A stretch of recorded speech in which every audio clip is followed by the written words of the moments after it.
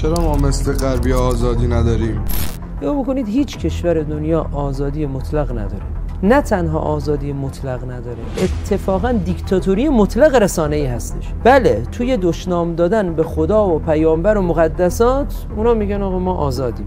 شما نگاه بکنین جینا کارانو بازیگر جنگ ستارگان سومین بکسور زن دنیا. مگر نمیگن زن؟ این خانم یه توییت زد. یک توییت در نقد هولوکاست زد. ولی همیشه کنار گذاشته شد. تو همین جشنواره کن که بازیگران ما بعضا میرن و فوش جمهوری اسلامی میدن میگن ما آزادی نداریم. لارس فونتریر این چند سال پیش تو صحبتش گفت من ضد یهود نیستم اما اسرائیل موی دماغ شده است. بعد گفت من نازی هستم. جشنواره رو تعطیل کردند. نشستن بیانیه عذرخواهی دادند از رژیم قاسم صهیونیستی. ایشون رو هم بیرون کردند. یعنی اصلا شما چیزی به عنوان آزادی نمی‌بینید. همین روزنامه شالی ابدو که کاریکاتور پیامبر رو کشید و اعلام کردن که اینجا آزادی هست. در فرانسه چند سال پیش یه مقاله ای نوشت با عنوان اینکه سارکوزی و خانوادهش در مجامع یهودی دیده شدند.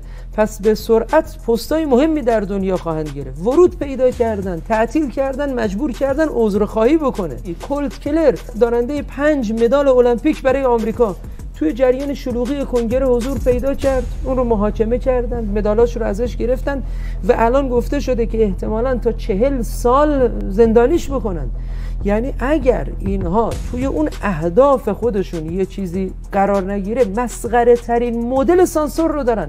بعد از جنگ روسیه و اوکراین چه اتفاقی افتاد؟ یک کمپانی از سیب زمینی سرخ کرده می‌زنه در کانادا و فرانسه. اسم این مدل سیب زمینی سرخ کرده پوتینه. این سیب زمینی رو حذف کرده. یعنی اینا دقیقا دارن در نقطه چه آزادی صحبت می‌کنن.